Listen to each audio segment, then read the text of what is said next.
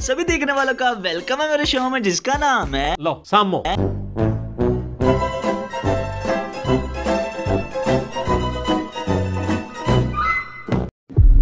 आज सालाना ग्यारहवीं रात है। हाय हाय हाय और गौस पाक के दीवाने आलमी मदनी मरकज में कसीर तादाद में जमा है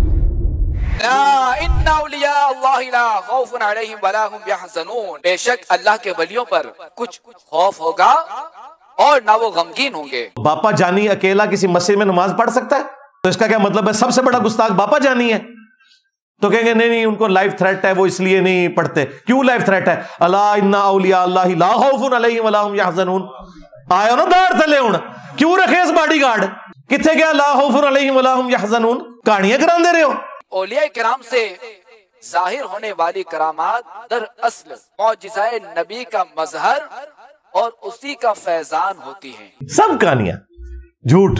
हज़रत अब्दुल मलिक जयाद रहमतुल्लाहि बयान करते हैं कि मैं एक रात गौसे पाक रहमतुल्लाहि ताला के मदरसे में खड़ा था। डाब रहमतुल्लाहि ताला अंदर से एक असास दस्ते अकदस में लिए हुए तशरीफ़ फरमा हुए मेरे दिल में ख्याल आया कि काश हुजूर अपने इस असास से कोई करामत दिखलाएँ। चाय या समोसा नहीं खिला सकते। इधर मेरे दिल में ये ख्याल गुजरा और उधर शेख अब्दुल कादिर जिलानी ने असे को ज़मीन पर गाड़ दिया तो वो असा मिसरे चिराग रोशन हो गया।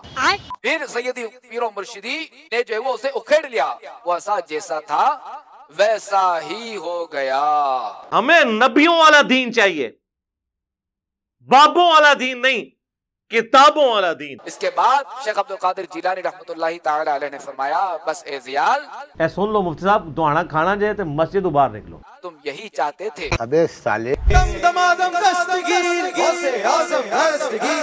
चौदह सौ पैंतालीस नजरी के माह अब्दुल कादिर माह फाखिर यानी रबी उल आखिर की सालाना ग्यारहवीं रात। बड़े पीर साहब की आज सालाना ग्यारहवीं शरीफ है अल्हम्दुलिल्लाह।